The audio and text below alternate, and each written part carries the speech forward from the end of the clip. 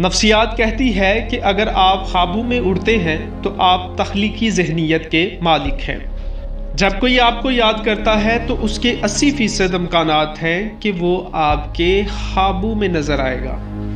जागते हुए आपके 80 फ़ीसद ख्वाब खुफिया पैगाम पर मुश्तमिल होते हैं।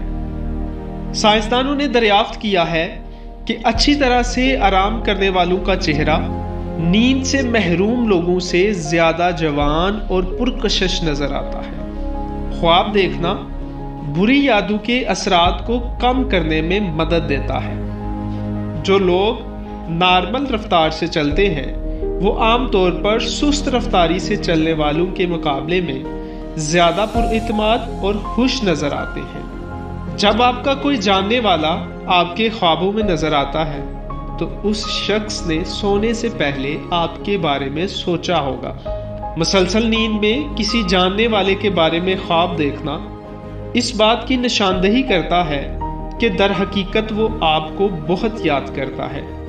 नफ्सियात के मुताबिक आप ख्वाब देखते हुए पढ़ नहीं सकते या वक्त बता नहीं सकते। नफ्सियात के मुताबिक रात को नींद ना आने का मतलब आप किसी के ख्वाब में जाग रहे हैं।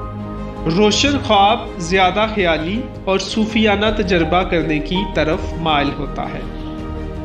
रात को ज़्यादा सोचने से सोने की सलाहियत 25 फ़ीसद तक कम हो जाती है।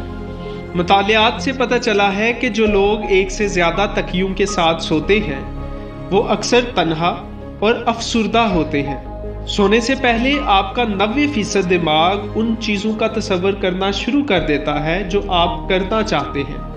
आप एक रात में सात मुख्तलिफ़ ख्वाब देख सकते हैं और ख्वाब एक से दो घंटे का हो सकता है। ख्वाब छुपे हुए एहसास और जज्बात को ज़ाहिर करते हैं, क्योंकि ये लाशरी जहन की अक्सी करते हैं।